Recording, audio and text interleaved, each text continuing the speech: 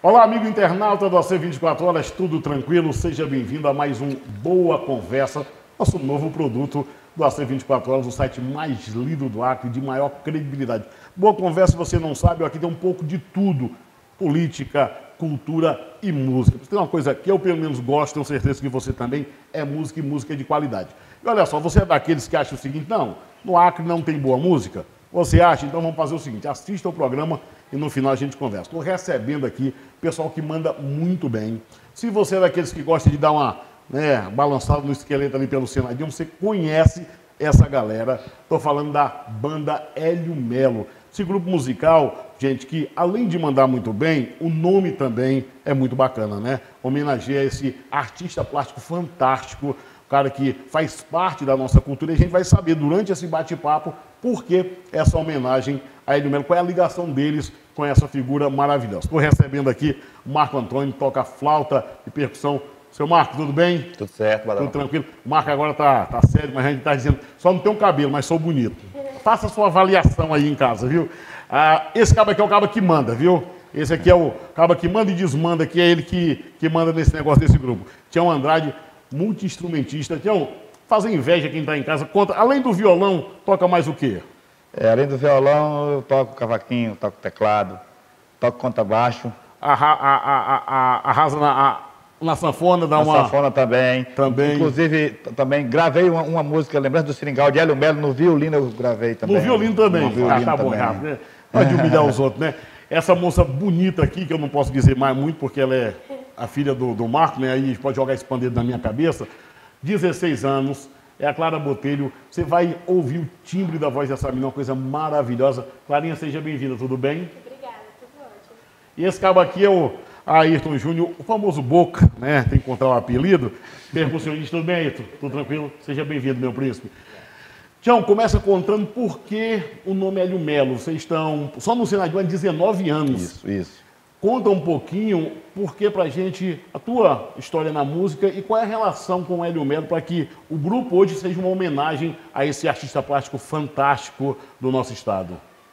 É o Badaró, o Hélio Melo, ele, antes ele conheceu meu pai, né?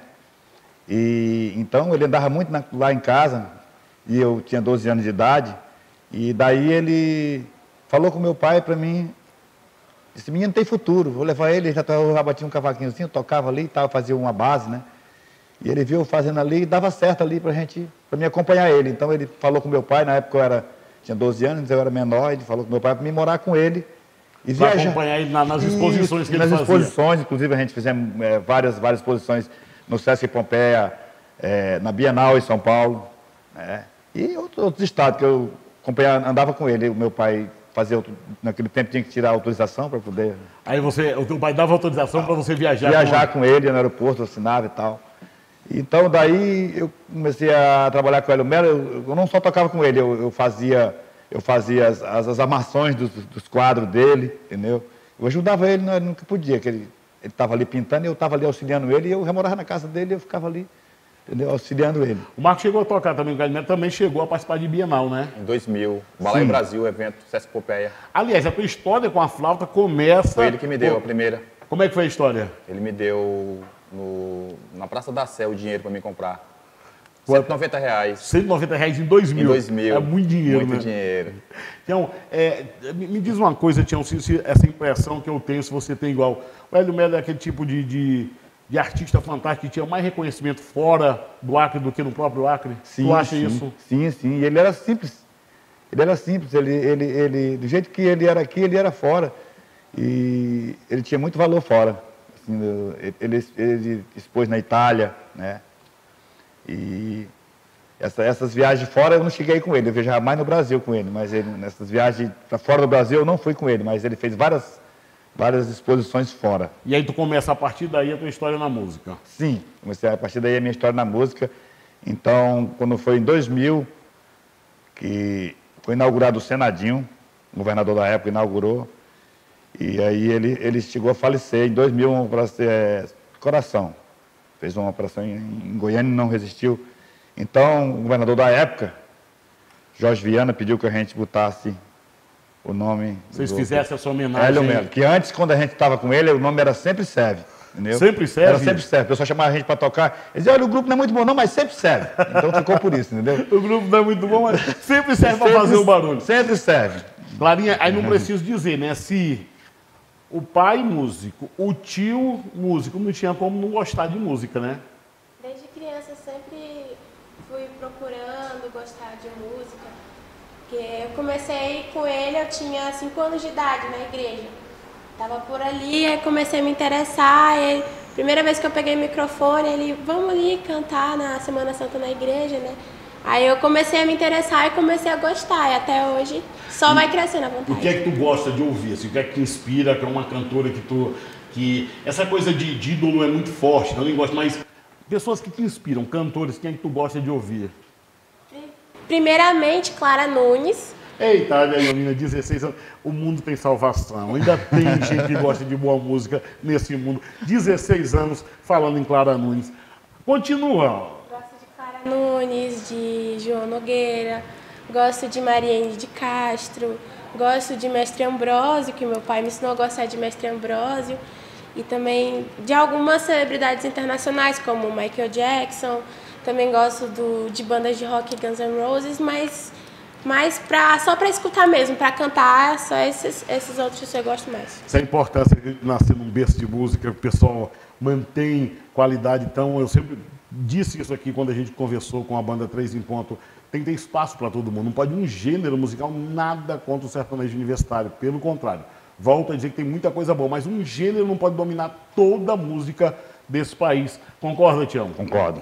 Concordo. Gente, outra coisa muito bacana é que vocês, além de tocar as músicas ceradinhas, que o pessoal está acostumado, arrastar o pé é bom demais, música autoral. Gente, eu queria que você prestasse atenção, parasse, agora está fazendo alguma coisa, pare, para escutar a música, composição dessa menina. Como é o nome da música, Clara? Mar Azul. Azul.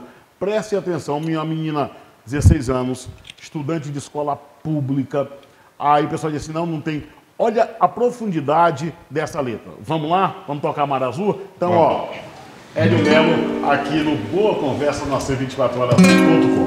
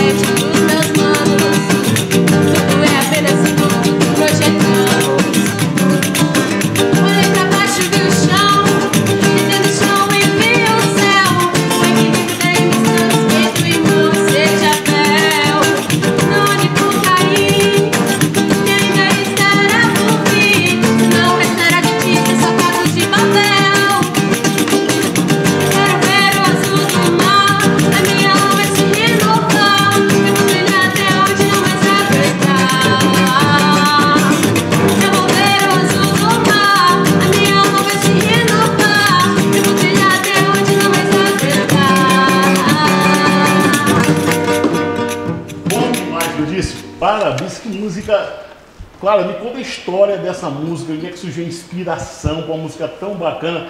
Eu não tenho dúvida, e falando aqui sem, sem hipocrisia alguma, se você mostrar essa música para uma Marisa Monte da vida, ela diz assim, me dá que eu gravo agora. De onde é que veio essa inspiração para essa composição tão bacana? Essa composição é minha de um colega meu de escola, Eric Adams, o nome dele. A gente ia participar de um festival de música na escola, que primeiro o primeiro festival era sobre o tema era paz. Aí a gente começou com uma música é, que a gente tinha a gente tinha feito a composição. Aí depois a gente meio que mudou. Aí a gente começou, ele fez a, a, uma, uma parte da letra, eu fiz outra. Aí a gente foi complementando, fazendo a melodia e saiu essa música que hoje em dia eu gosto tanto dessa música. E a gente, a gente, a primeira vez que a gente apresentou foi no festival de música da escola. Aí depois a gente pegou essa música para participar de mais outros festivais e até agora. Meu pai fica mais inchado que não sabe cururu, né? Tião, a dificuldade, a gente está vendo aqui um talento, tem muitos talentos na música criana. Tem muita coisa que não presta também. É, mas, assim, não é fácil viver de música no Acre, né? Não é fácil. Não é fácil. Complicado, né? Complicado, complicado. complicado. Claro, e com todas as dificuldades, tu, tu, tu sonha em, em despontar. Como é que é? Sonhar, mas tem que ter os pés no chão sabendo da dificuldade que é. Sonhar, mas não tão alto assim. Eu, quando eu era menor, eu sonhava em ser a Marisa Monte, eu sonhava em ser a Cláudia Leite, porque eu gostava, ver a performance delas no palco. Aí eu olhava e falava assim, eu quero ser essa mulher um dia. E uma inspiração minha para me segurar assim nos palcos é o programa da Globo The Voice Brasil. Desde criança eu sempre quis participar, eu gostava. Todo ano é uma tradição lá em casa, a gente assiste. Tanto... Já se inscreveu? Não, infelizmente eu não consegui, porque às vezes eles não colocam a seletiva para o norte, né? Mas eu espero um dia ter a esperança de entrar no programa e conseguir competir, porque música é, é o sonho da minha vida e eu pretendo seguir com isso até eu morrer. Muito bacana, 19 anos no Senadinho. Vocês já conhecem, né? O, o, o, o Marcos, olha, falando de dificuldade, o Marcos não acompanha direto o grupo exatamente por causa do trabalho, né, Marcos? Não, não, não tem como, né? Tem parar como. de trabalhar para dedicar sua música, né? Já fiquei até 2008, entre 2008 e 2009. Aí, aí tive que entrar na Protege para ganhar um pouco a mais, né? Um pouquinho mais. Ah, Tião, já conhece, né? Já, já, ali já é uma, quase uma família, né? Sim, sim, ali é uma família ali. Inclusive, quando os dias feriados que não tem, eles sentem muita falta. Eles sentem muita falta e com, quando acontece alguma coisa com, com alguém que, que se relaciona ao o grupo eles, eles sentem também, como aconteceu com o professor. Pois é, a gente está falando aqui, esse, esse, essa família é uma família que ainda chora a, a violência né, que infelizmente permeia todos nós. Ele, o, é, o Raimundinho do Cavaco. O Marco e o Tião são irmãos, eram irmãos do Raimundinho do Cavaco, é, foi assassinado comprando um churrasquinho. Era um, quem nunca, né, quem gosta de samba, ele nunca ouviu o Raimundinho do Cavaco Nossa, tocando cavaco no samba é, ainda é uma, uma dor muito presente, né? Até porque pelo pouco tempo, né? Só a gente falar o nome dele aqui no seu programa aqui já é pra gente. É que bom, que, que o senhor esteja mais animado com a presença do Raimundinho lá, ah, que deixou todos nós tristes, muito tristes com essa, com essa barbaridade que aconteceu. Bom, mas se a Clara é compositora, o Tião também é, né, Tião? Tem, tem uma música sua que tem. também é muito bacana, que fala de natureza, é, que fala da... Né? Essa música, ela me inspirou mais, sabe por quê? Vou te contar só um pouquinho. Conte. É, assim, tem muitos lugares que eu morei, tipo na Sobral, tipo ali no São Francisco, que era criança, que eu tomava banho na, na, onde é hoje é aquelas esgotos, que ninguém tem respeito mais pela, pela natureza. Quer dizer, por que hoje não podia estar também aqueles garapés tudo ali para a gente tomar banho? Quer dizer, e a culpa é nossa, né? A culpa é nossa culpa é nossa. Então essa música me inspirou a isso, entendeu? De ver essas coisas se acabando tudo e ninguém faz nada. Vamos ouvir? Vamos. Vamos lá.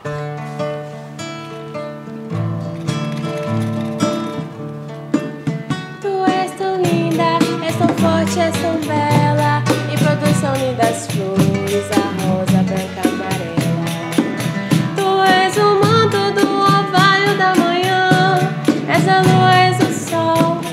da luz de um talismã. Tu és tão viva, é quem alimenta a vida. Vida tem medida e ninguém quer preservar. Vão cometendo suicídio sem pudor, esquecendo do valor que deviam contemplar. É tão doce a vida e mais doce ela seria se o homem imaginasse o sabor que ela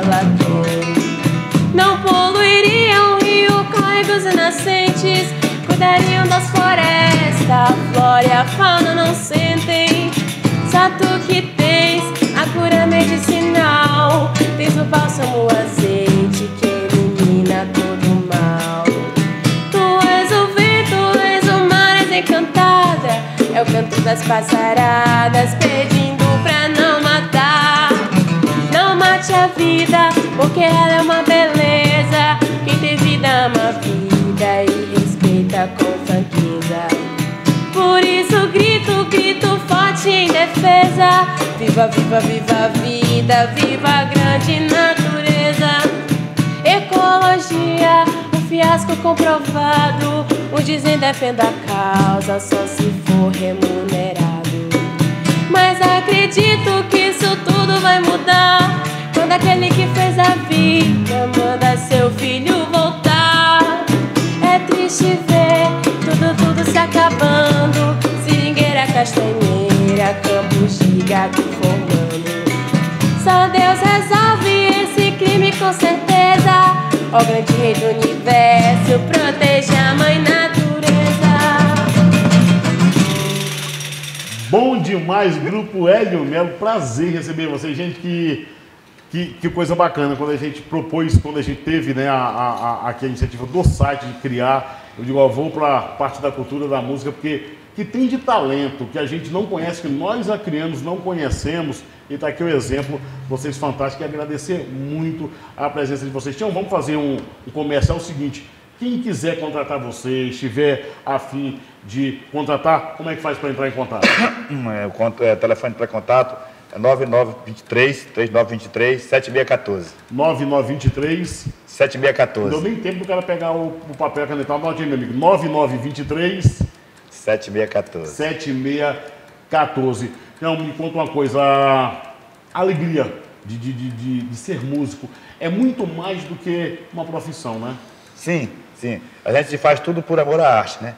A gente, você sabe que aqui no nosso estado a gente faz por amor à arte. Inclusive, eu quero ressaltar aqui o nome do meu pai, é, Olívio Botelho, que, que era, que era o, o chefe da banda.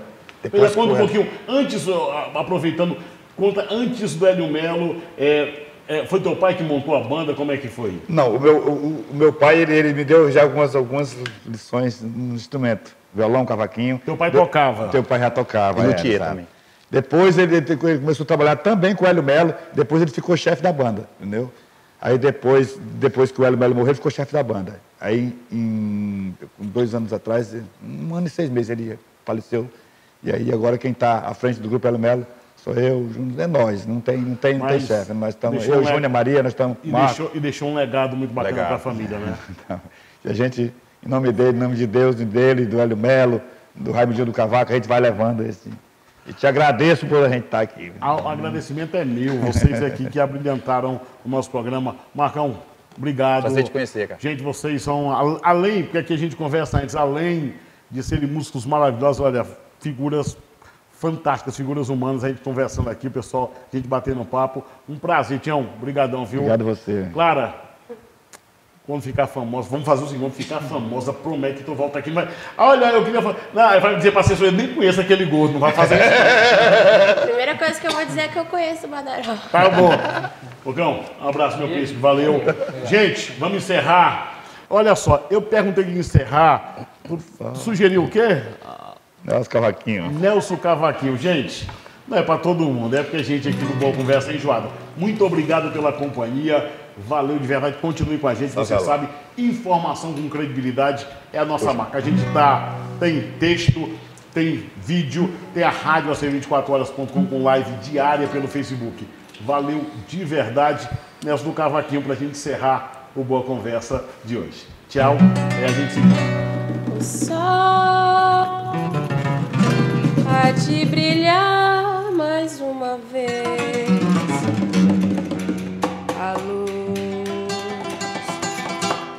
há de chegar aos corações do mal. Ser